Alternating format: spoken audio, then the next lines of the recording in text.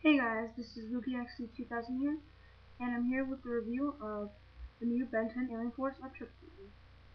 Now before we go into the figure, as always, um, here's the card that it comes with, and it's a nice picture of Upchuck, with, um, Upchuck right there, there.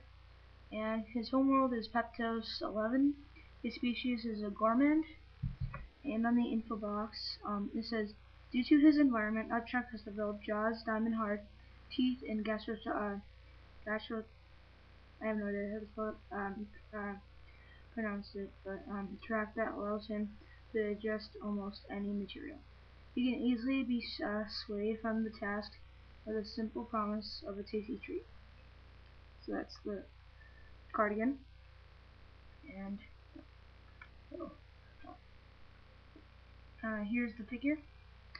And Upchuck, um, it's a lot different than the regular Upchuck. Um, I can show you a quick comparison with the old Upchuck. Um, yeah, so that's the old Upchuck and the new Upchuck. Very different um, looks, but you can tell it's Upchuck.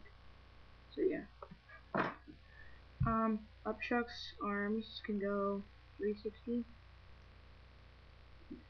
Um, yeah. However, you cannot turn his head, and the tail is very hard to come off in this one. And his feet barely move. Um, yeah. Uh, he has different eyes than the other Upchuck, and he has um, the Omnitrix symbol right there. And he's a lighter uh, greenish color um, than the other Upchuck as well. Um, and there's not that much articulation to this guy, but um, I do like him. I would um, possibly rate this guy a um, 9.5 out of 10. So yeah, stay tuned for some more Ben 10 toy reviews. Bye guys.